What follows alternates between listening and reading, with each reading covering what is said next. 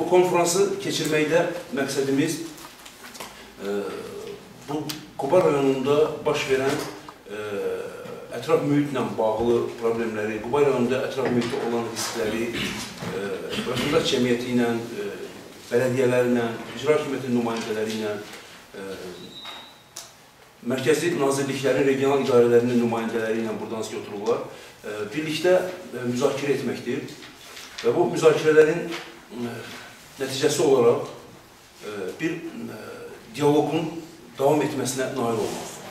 torpaq sürüşmələrinə səbəb olacaq faktorlar bir neçə istiqamətə bölünə bilər. E, Otlaqların ekoloji tutarı var və o ekoloji tutardan bugün hamıya məlumdur ki, artıq sürətdə, dəfələrlə artıq sürətdə davar saxlanılır. The OSCE, um, in one of its dimensions, uh, which is the economic and environmental dimension, is also supporting uh, cooperation with civil society uh, organizations to uh, provide for more um, environmental awareness.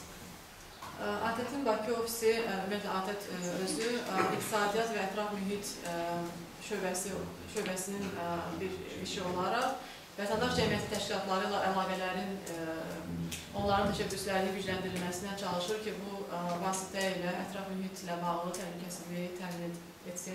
A main priority is to uh, actually uh, to have conduct meetings uh, such as the one we conduct today, uh, which is together uh, to gather uh, different stakeholders to discuss current ecological problems. Bizim biri işin bir müxtəlif tərəfləri, maraqlı tərəfləri bir araya ekoloji müzakirə etməkdir. And in such meetings, uh, it's very important that it's not only uh, the civil society organizations, but also other partners, uh, specifically the authorities. We have here today the Ministry of Ecology, but also uh, very thankful to uh, uh, EXCOM of GUBA that uh, you participate, and there may, may, be also other groups. so. Um, uh, this is uh, one of the one of the directions actually of the OSC ecological program.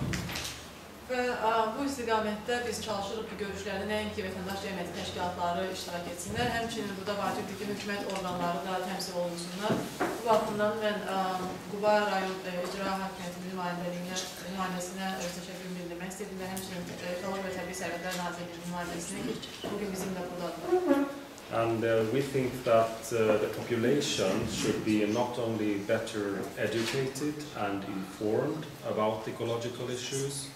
but should also uh, be a part of the uh, decision-making processes uh, uh, in decisions which affect their own environment.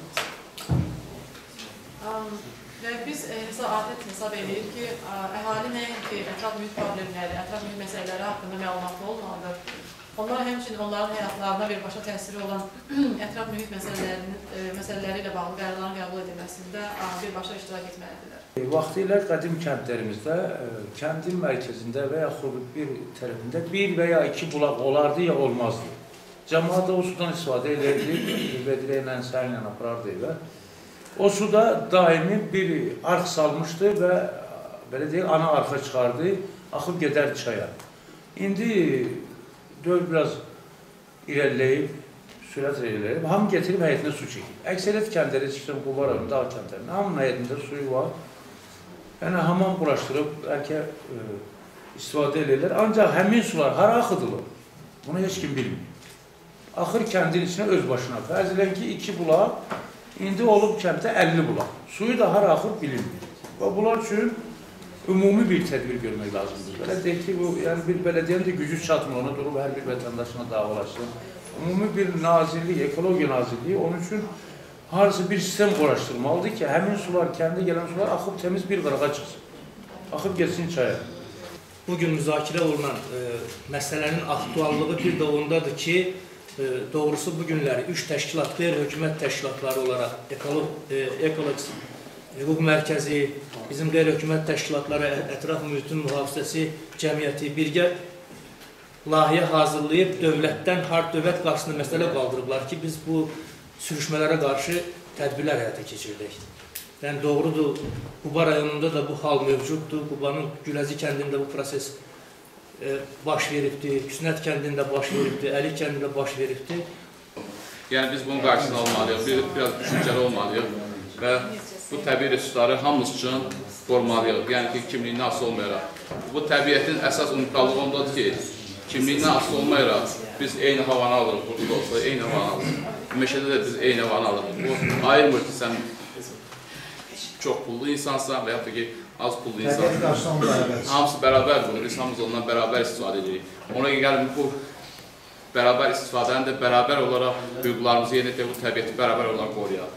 Konfransın işini, bu qarşılıqlı dialoqları, müzakirələri mən müsbət dəyərləndirirəm və hesab edirəm ki, layihələrin nəticələri ümidvericidir və qismən əhalinin lokal yerlərdə ə, ə, maarifləndirilməsi ümumi işə təbəb edəcək. Uh, very briefly, um, uh, thank you very much uh, for organizing this conference. I, I think it was uh, uh, very important step in uh, a continued uh, um, sort of uh, debate about um, the causes of uh, the environmental problems, as we heard today. Uh, this, this is a very complex issue where uh, it's not only ecological, ecological factors but also economic and social factors uh, interact. Bugünkü konfransı təşkil etdiyinizə görə təşəkkürümü bildirmək istəyirəm və ə, çox, çox maraqlıdır ki, biz bugün ə, müxtəlif ətraf mühit problemlərini müzakirə etdik və ə, bu ətraf mühit problemlərinin təkcə ətraf mühit nöqteyi nəzərindən yox, həm də iqtisadi əlbəttə ki, ə, təsirləri də var.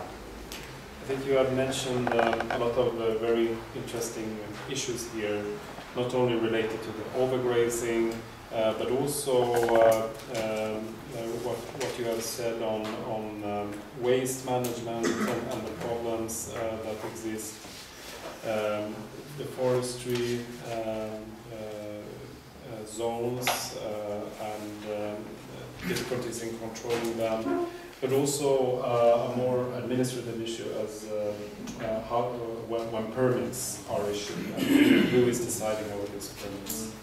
Bugün müxtəlif məsələlər haqqında danışıldı. Burada ə, torpaq sürüşmələri, meşələrin qırılması, ə, heyvandarlığın ətraf mühitə təsiri və s. bu kimi və yaxud çay yataqlarının istismarı ilə bağlı danışıldı. Həmçinin bəzi administrasiya məsələlərə toxunuldu, məsələn icazələrin verilməsidir, tikintilərə və s.